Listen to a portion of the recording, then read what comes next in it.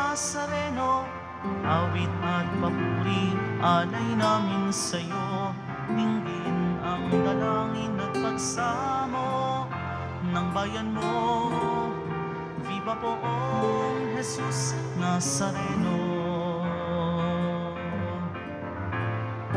Tayo ngayon ay magtipon at sambahin ang poon. Sa ating debosyon, purihin ang Panginoon. Viva poong Jesus Nazareno, awit at papuri, alay namin sa'yo. Dinggin ang dalangin at pagsamo ng bayan mo. Viva poong Jesus Nazareno. Simulan natin ang ating pagdiriwang sa ngalan ng Ama at ng Anak at ng Espiritu Santo Amen. ang pagpapala ng ating Panginoong Heso Kristo, ang pag-ibig ng Diyos Ama at ang pakikipagkaisa ng Espiritu Santo naway sumainyong lahat. At sumaiyo rin. Mga kapatid, aminin natin ang ating mga kasalanan upang tayo'y maging marapat gumanap sa banal na pagdiriwang. Inaamin ko sa makapangyarihang Diyos At sa inyo, mga kapatid, nalubha akong nagkasala sa isip, sa salita, at sa gawa, at sa aking pagkukulang.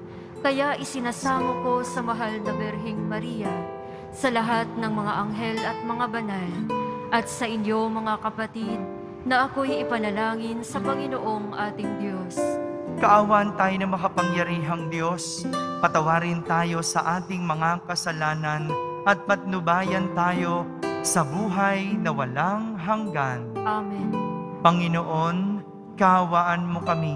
Panginoon, kaawaan mo kami. Kristo, kaawaan mo kami. Kristo, kaawaan mo kami. Panginoon, kaawaan mo kami. Panginoon, kaawaan mo kami.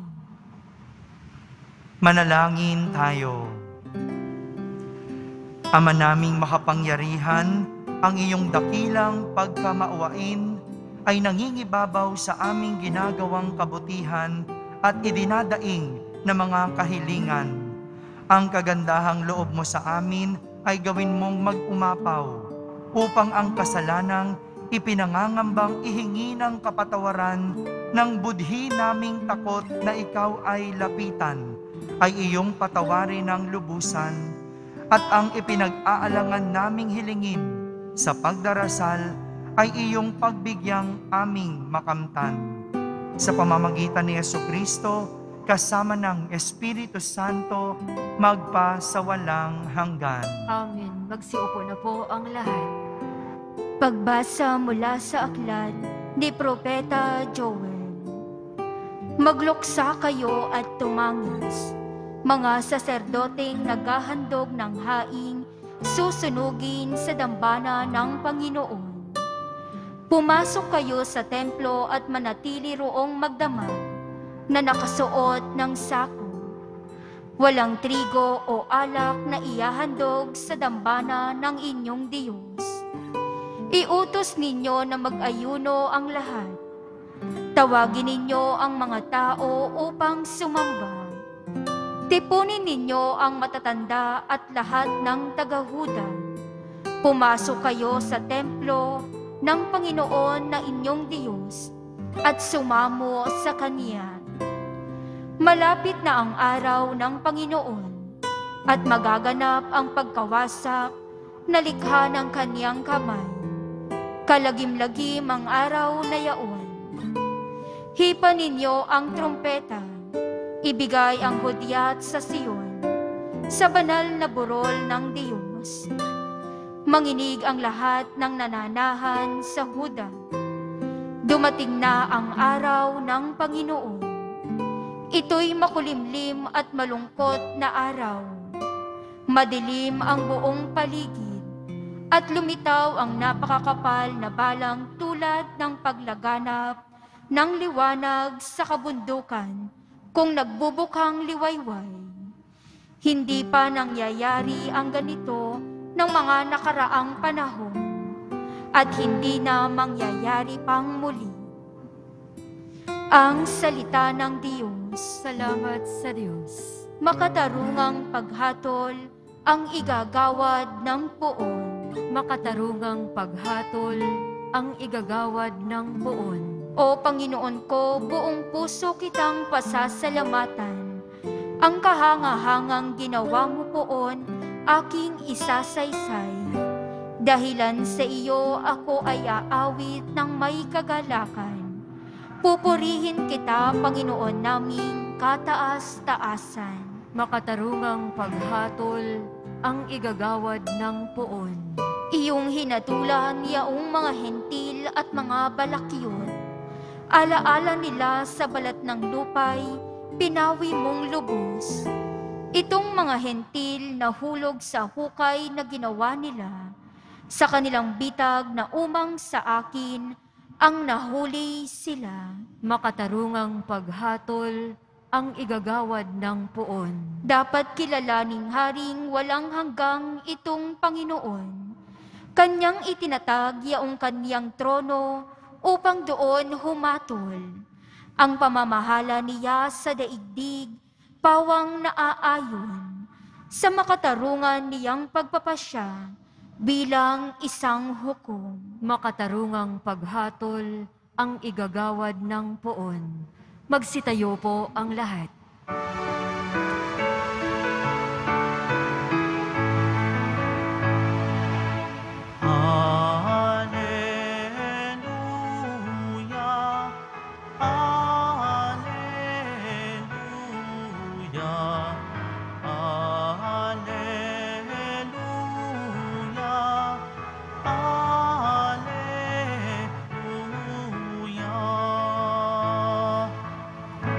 Si Kristo ay itinampok, sa Kanya tayo'y dumulog, kasamaan ay natapos. Alleluia,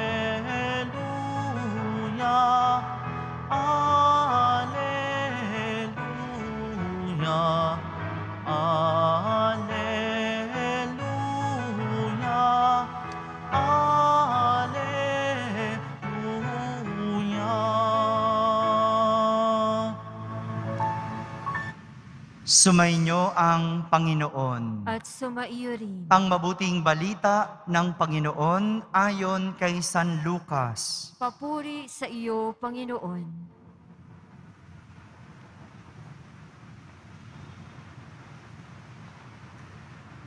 Noong panahong iyon, matapos palayasin ni Jesus ang isang demonyo, naggilalas ang mga tao. Ngunit may ilan sa kanila ang nagsabi, si Beelzebul na prinsipe ng mga demonyo ang nagbigay sa kanya ng kapangyarihang magpalayas ng mga demonyo. May iba namang nais siyang subukin, kaya't nagsabi, Magpakita ka nga ng kababalaghang magpapakilala na ang Diyos ang sumasa iyo. Ngunit batid ni Jesus ang kanilang iniisip, kaya't sinabi sa kanila, Babagsak ang bawat kahariang nahahati sa magkakalabang pangkat at mawawasak ang mga bahay roon. Kung maghimagsik si Satanas laban sa kanilang sarili, paano mananatili ang kanyang kaharian? Sinasabi ninyong nagpapalayas ako ng mga demonyo sapagkat binigyan ako ni Beelzebul ng kapangyarihang ito. Kung ako'y nagpapalayas ng mga demonyo sa pamamagitan ni Beelzebul, sino naman ang nagbigay ng kapangyarihan sa inyong mga tagasunod na makagawa ng gayon? Sila na rin ang nagpapatunay na maling-mali kayo. Ngayon, kung ako'y nagpapalayas ng mga demonyo sa pamamagitan ng kapangyarihan ng Diyos, nangangahulugang dumating na sa inyo ang paghahari ng Diyos. Kapag ang isang taong malakas at nasasandatahan ay nagbabantay sa kanyang bahay, malayo sa panganib ang kanyang ari-arian. Ngunit kung salakayin siya at talunin ng isang taong higit na malakas, sasamsamin nito ang mga sandatang kanyang inaasahan at ipapamahagi ang ari-ariang inagaw. Ang hindi panig sa akin ay laban sa akin at nagkakalat ang hindi tumutulong sa aking mag-ipon. Kapag lumabas na mula sa tao ang isang masamang espiritu, ito'y gumagala sa mga tigang na lugar at naghahanap ng mapagpapahingahan. Kung walang matagpuan, ay sasabihin nito sa sarili, Babalik ako sa bahay na aking pinangga, pinanggalingan. Pagbabalik, ay matatagpuan niyang malinis na ang bahay at maayos. Kaya lalabas siyang muli at magsasama ng pito pang espiritong masasama kaysa kanya at papasok sila at maninirahan doon. Kaya sumasama kaysa dati ang kalagayan ng taong iyon. Mga kapatid, ang mabuting balita ng Panginoon. Pinupuri ka namin, Panginoong Heso Kristo. Magsiupo na po ang lahat. Isang magandang araw po sa inyong lahat. Ang hindi panig sa akin ay laban sa akin. At ang nagkakalat, ang hindi tumutulong sa akin mag-ipon. Mga kapatid, ito ang mga nasabi ni Jesus sa mga taong hindi naniniwala at hindi tumatanggap sa Kanya sa kabila ng kabutihan at kadakilaang Kanyang nagawa. Ang hindi panig sa akin ay laban sa akin. Kaya't magandang tanong ano? Kanino ka ba panig? Kanino ka ba kakampi? Sino ang iyong pinaglalaban? Sino ang iyong kinakalaban? Matapos po magpalayas ni Jesus ng isang demonyo, naggilalas, namangha ang lahat ng tao. Pero may ilan sa kanila ang nagsabi na si Beelzebul na prinsipe ng mga demonyo ang nagbigay sa kanya ng kapangyarihang magpalayas ng demonyo. Tinan mo nga naman ano, iba rin ang tao, no? Tignan mo nga naman mag-isip ang tao.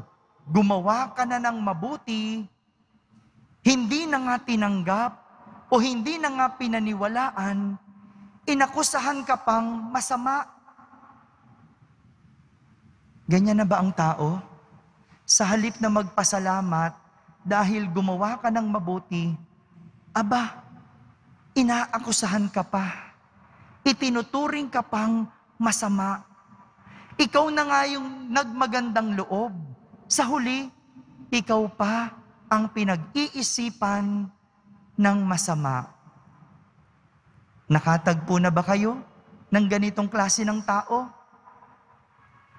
Noon man at ngayon, realidad po na may mga ganitong klase ng tao at hindi katakatakang gawa ito ng demonyo sapagkat walang taong mabuti ang hindi tumatanggap sa mabuti. Walang taong matino ang magtatakwil sa kabutihan dahil demonyo lang ang magtatakwil sa kabutihan at papanig sa kasamaan. Kaya nga, pag-ingatan po natin ang ating mga sarili dahil ang demonyo ay nagiging buhay at totoo sa pag-uugali at ipinapakita ng tao. Totoo po na mayroong demonyo at ito ang ipinapakita ng ating ebanghelyo. Kaya naman, tinuturuan tayo ni Jesus na makilala ang demonyo. At tinuturuan tayo ni Jesus kung paano kokontrahin ang demonyo. Tatlong paraan. Tatlong paraan paano makilala ang demonyo at tatlong paraan paano kontrahin ang demonyo. Una, sa halip na kumontra, sumuporta. Sa halip na kumontra, sumuporta. Paalala na dapat ang sinusuportahan ay yung kabutihan, hindi ang kasamaan. Pero may mga pagkakataon na kahit mabuti, kinukontra. Kaya nga, ang tawag natin sa kanila ay kontrabida. Ang mga demonyo, kontrabida. Sapagkat sila yung taga-kontra ng bida. Ang bida, hindi gagawa yan ng masama. Ang bida, walang gagawing kasamaan, kundi kabutihan lang. Walang bidang gagawa ng masama. Kaya nga, ang bida, laging mabuti. At ang kumukontra dito, demonyo, na tinatawag nating kontra-bida. Kaya nga, hindi dapat sinusuportahan ang mga kontrabida. Pero mag-ingat po tayo. Kasi minsan, may mga nagpapanggap na bida. Pero ang totoo, kontra sila. Sino yung mga yon? Ha? Yung mga nangungurakot, yung mga nagnanakaw, 'di ba? Nagpapanggap bida, nagpapanggap leader. Pero ang totoo, kinokontra nito ang paglago ng bansa. Mag-ingat po tayo ha. Kasi mahirap nang matukoy ngayon ang kontrabida. Kaya nga 'di ba, sa media o yung mga palabas sinasabi, bida kontra bida. Ba, pwede ba yun? Hindi pwede yun.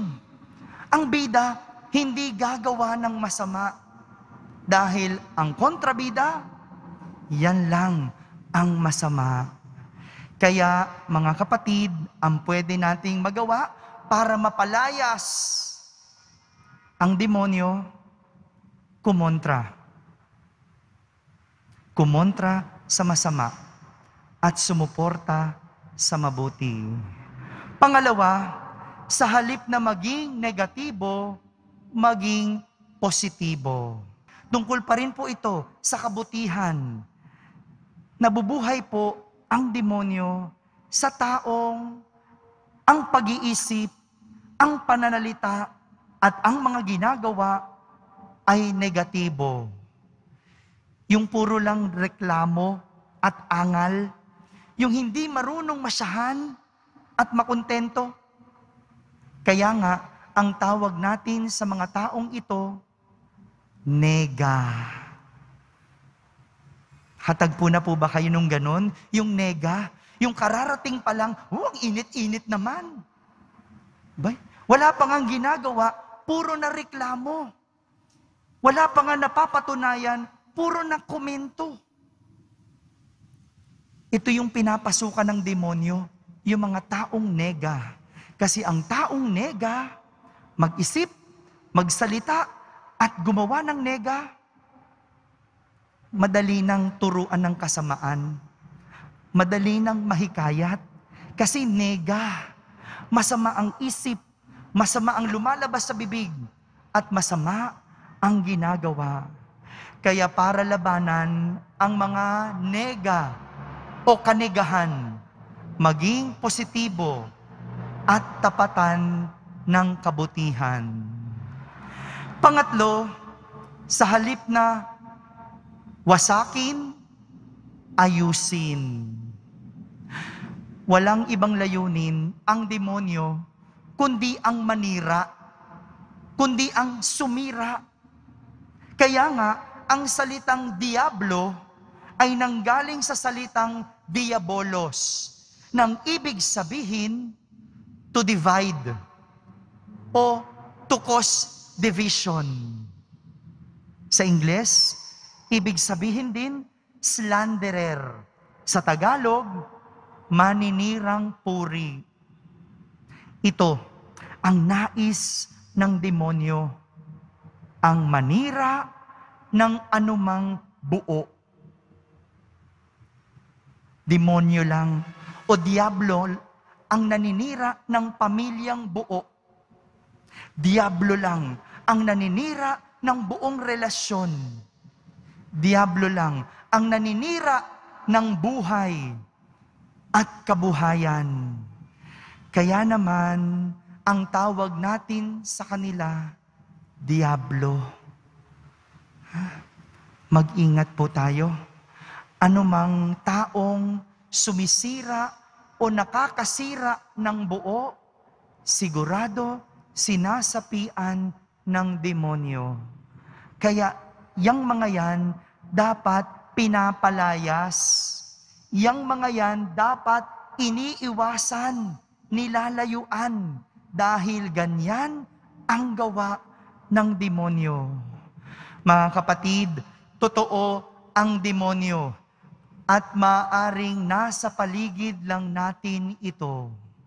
Oh, tingin ka nga sa paligid. Tingnan mo nga yung katabi mo. O hindi yan demonyo. Kasi ang demonyo, hindi natin makikita sa itsura. Ang demonyo, nakikita sa ginagawa, naririnig, sa sinasalita. Dahil ang demonyo, nagiging buhay sa isip, salita, at gawa ng tao. Ano man ang tawag natin, kontrabida, nega, o diablo, kayang-kaya nating labanan ang demonyo. Basta't papanigan natin ang kabutihan at si Kristo lang ang ating kakampihan. Amen? Amen.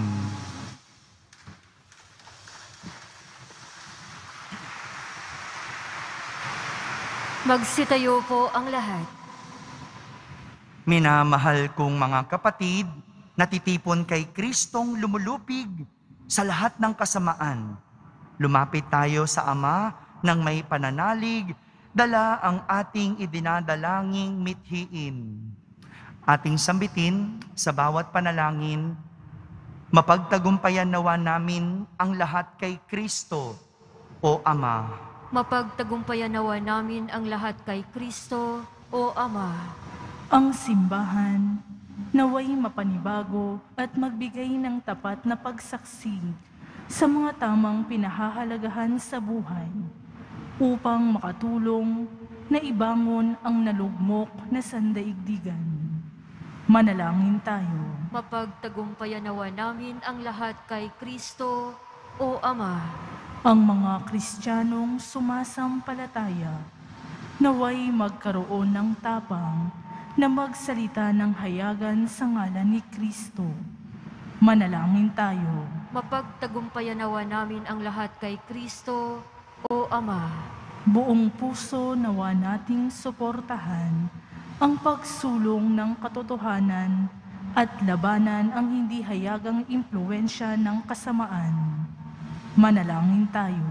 Mapagtagumpayan nawa namin ang lahat kay Kristo, o Ama.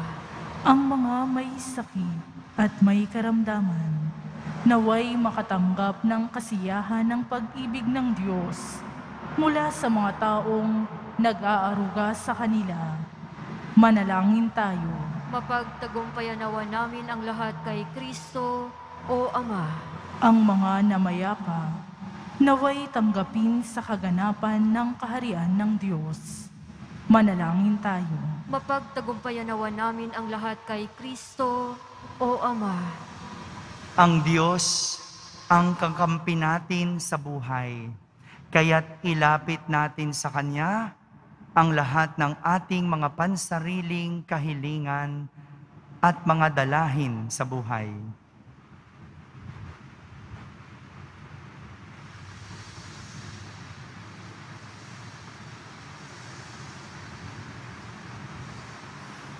Manalangin tayo. Mapagtagumpayan nawa namin ang lahat kay Kristo, O Ama. Makapangyarihang Ama, habang itinataas namin ang aming mga panalangin, pinasasalamatan ka namin sa iyong anak na lumupig sa kasalanan at kamatayan. Siya na nabubuhay at nagahari magpakailanman. Amen. Magsiupo na po ang lahat.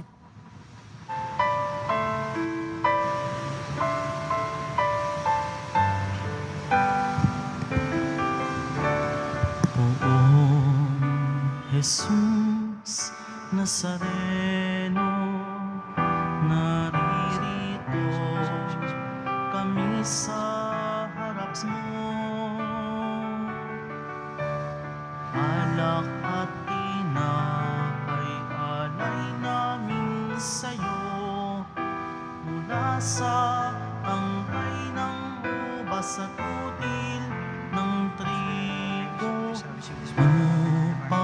upang maging dugo't katawan mo.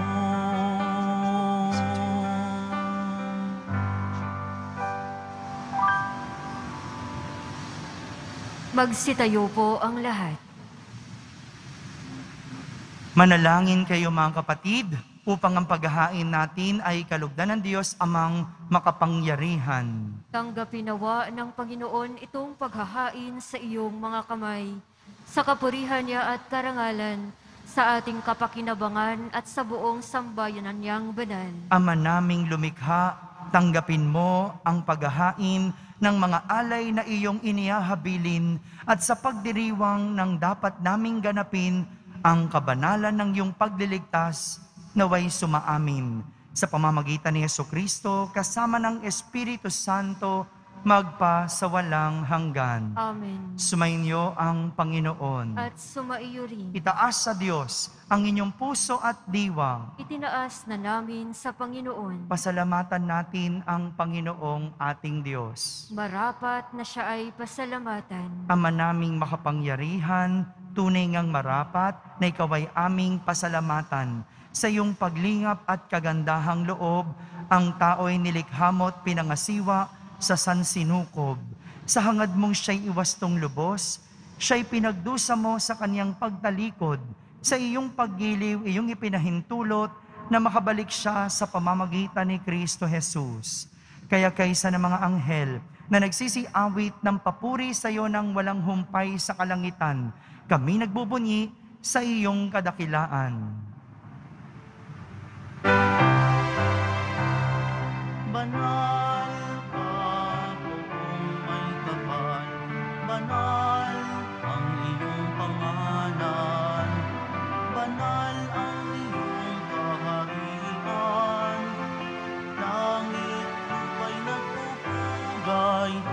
sa iyong kadakilaan, dinarakilahan ng lahat ang naparito mong anak na siyang nagmulat sa bulag sa pilay ay nagpalakad at nakiramay sa lahat. Magsiluhod po ang lahat. Ama naming banal, ikaw ang bukal ng tanang kabanalan. Kaya't sa pamagitan ng iyong Espiritu, ay gawin mong banal ang mga kaloob na ito, upang para sa amin ay maging katawan at dugo ng aming Panginoong Heso Kristo.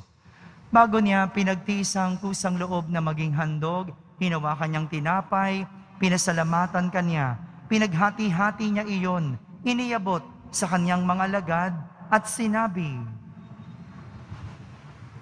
Tanggapin ninyong lahat ito at kanin. Ito ang aking katawan na inihahandog para sa inyo.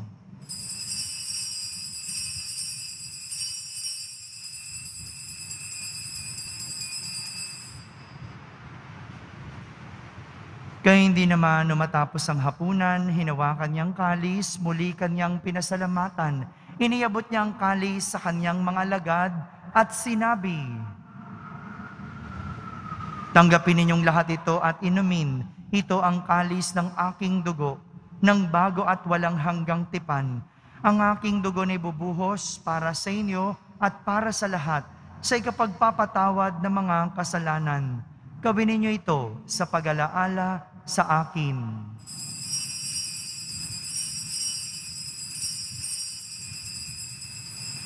Magsitayo po ang lahat. Ipagbunyi natin ang misteryo ng pananampalataya. Si Kristo ay gunitain, sarili ay inihain.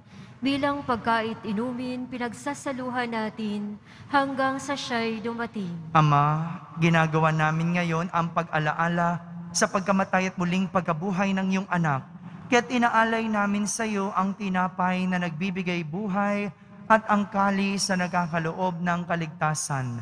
Kami nagpapasalamat dahil kami iyong minarapat na tumayo sa harap mo para maglingkod sa iyo. Isinasamo namin kaming magsasalo-salo sa katawan at dugo ni Kristo ay mabuklod sa pagkakaisa sa pamamagitan ng Espiritu Santo. Ama, lingapin mo ang iyong simbahang laganap sa buong daigdig.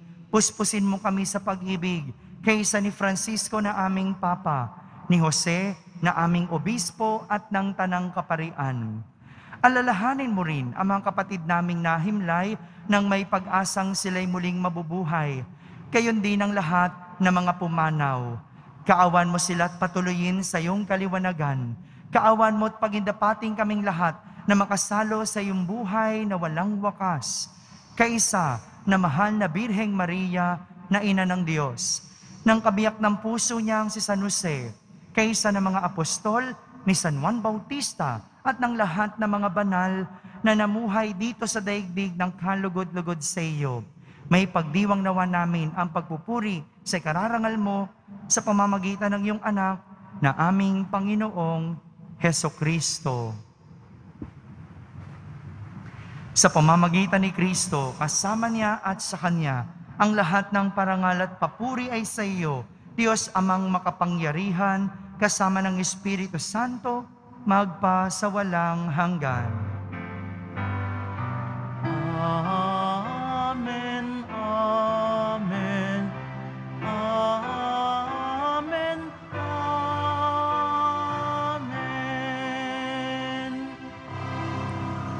Sa tagubilin ng mga nakahagaling na utos at turo ni Jesus na Panginoon natin at Diyos, ipahayag natin ng lakas loob. Ama namin, sumasalangit ka, Sambahin ang ngalan mo, mapasa amin ang kaharian mo, sundin ang loob mo dito sa lupa para nang sa langit. Bigyan mo kami ngayon ng aming kakanin sa araw-araw at patawarin mo kami sa aming mga sala para ng pagpapatawad namin sa nagkakasala sa amin at huwag mo kaming ipahintulot sa tukso at iadya mo kami sa lahat ng masama. hinihiling namin kami iadya sa lahat na masama. Pagkaloban ng kapayapaan araw-araw, iligtas sa kasalanan at ilayo sa lahat ng kapahamakan. Samantalang aming pinananabikan ang dakilang araw ng pagpapahayag ng tagapagligtas naming si Heso Kristo. Sapagkat iyo ang kaharian at ang kapangyarihan at ang kapurihan, magpakailanman. Amen. Panginoong Yeso Kristo, sinabi mo sa iyong mga apostol, kapayapaan ang iniiwan ko sa inyo. Ang aking kapayapaan ang ibinibigay ko sa inyo. Tunghayan mo ang aming pananampalataya at wag ang aming pagkakasala. Pagkaloban mo kami ng kapayapaan at pagkakaisa ayon sa iyong kalooban, kasama ng Espiritu Santo, magpa sa walang hanggan. Amen. Ang kapayapaan ng Panginoon ay laging sumainyo. At sumaiyo rin. Magbigayin kayo ng kapayapaan sa isa't isa. Kapayapaan po para sa lahat. Kordero ng Diyos na nag-aalis ng mga kasalanan na sanlibutan, maawa ka sa amin. Kordero ng Diyos na nag-aalis ng mga kasalanan na sanlibutan, maawa ka sa amin. Kordero ng Diyos na nag-aalis ng mga kasalanan na sanlibutan, ipagkaloob mo sa amin ang kapayapaan. Magsiluhod po ang lahat.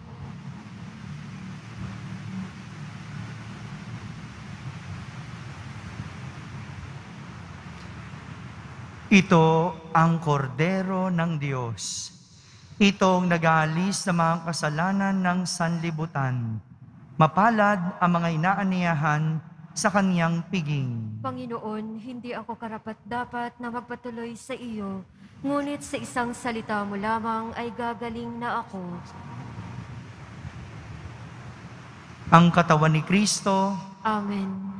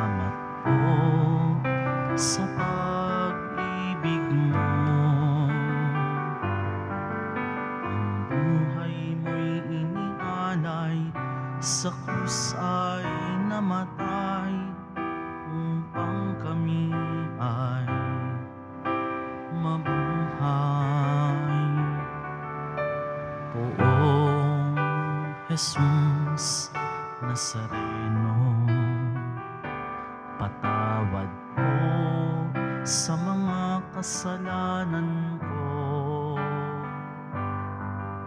Ang buhay ko'y iaalay Ang lahat ay ibibigay. Puso ko'y sa'yo lamang habang buhay. Poong Jesus Nazareno, kay buti mo Sa hirap at dusa ika'y kasama ko. Ang samo ko't dasal sana'y pakinggan mo. Nang mapawi ng mga paghihirap ko. Poong Jesus Nazareno, salamat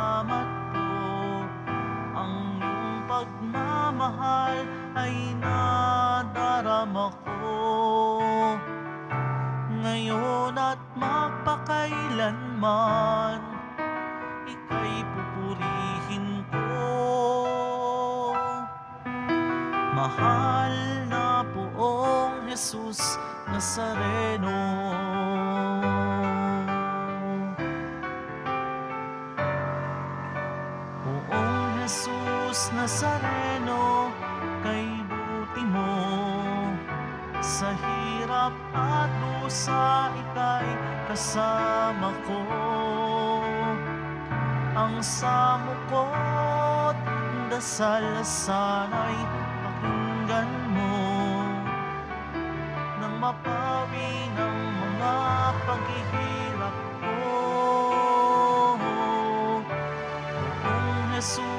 Nazareno, salamat po. Ang iyong pagmamahal ay nadarama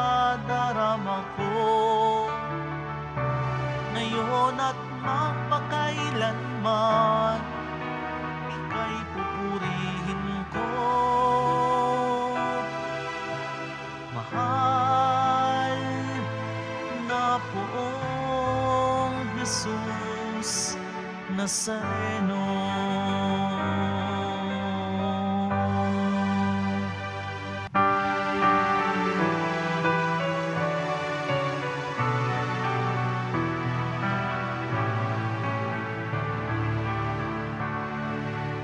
Walang sino man ang nabubuhay para sa sarili lamang.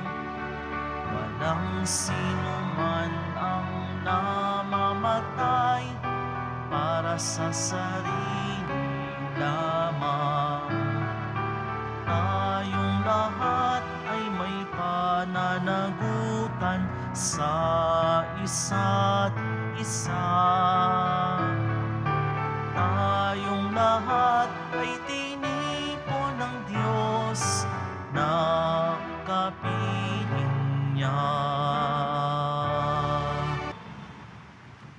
Manalangin tayo.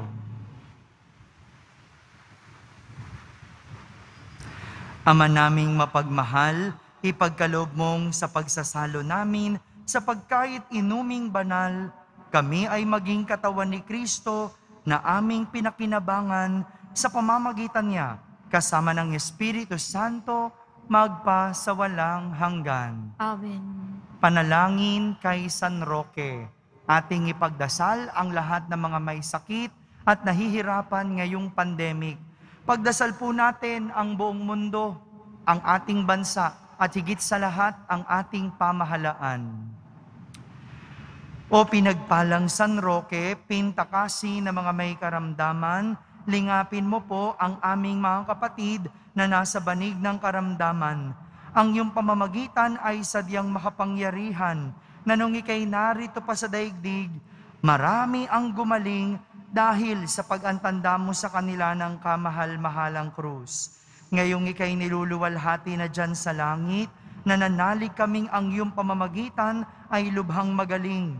Ialay mo po sa Panginoong Diyos yaring aming mga hinaing at sa tulong po ninyo ay makamit ang kagalingan ng aming kaluluwa at katawan.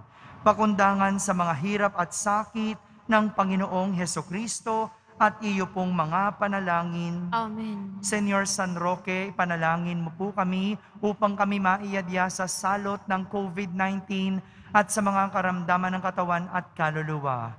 Senyor San Roque, panalangin mo po kami upang kami maiyadya sa salot ng COVID-19 at sa mga karamdaman ng katawan at kaluluwa. Senyor San Roque, ipanalangin mo po kami upang kami maiyadya sa salot ng COVID-19 at sa mga karamdaman ng katawan at kaluluwa. Sumainyo ang Panginoon. At sumaiyo rin. Pagbabasbas ng pong Yesus Nazareno. Mahal na pong Yesus Nazareno, inihayag mo sa pamamagitan ng krus ang walang maliw na pag-ibig ng Diyos sa sangkatauhan. Pakinggan mong kahilingan ng iyong angkan na nagsusumamo sa iyo. Makamtanawan nila ang inyong katugunan at tanggapin ang kasagutan na may utang na loob na tinatanaw. Basbasan din po ninyo ang lahat na may karamdaman at nahihirapan sa pamamagitan ng bendisyon na ito, naway maalala nila ang mga pangako nila noon sa binyag na ikaw ang kanilang iibigin at pagdilingkuran bilang Panginoon magpa sa walang hanggan. Amen. At pagpalain kayo ng makapangyarihang Diyos, Ama, Anak, at Espiritu Santo. Amen. Tapos na po ang ating pagdiriwang, humayging taglay ang pag-ibig at kapayapaan ng poong Jesus Nazareno. Salamat sa Diyos.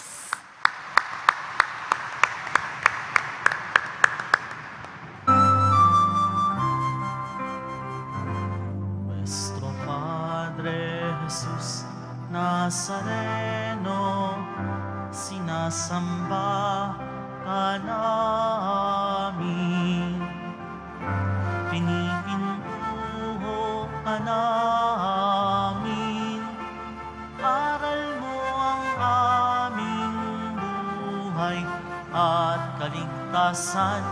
Nuestro Padre Jesus Nazareno, iligtas mo kami sa kasalanan.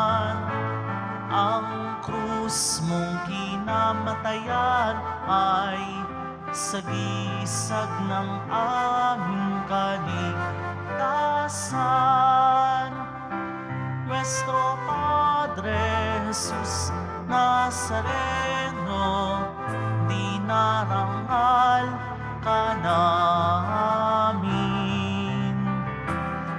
Nuestro Padre Jesus Nazareno, ninulwalhati ka namin. Nuestro Padre Jesus Nazareno, dinarangal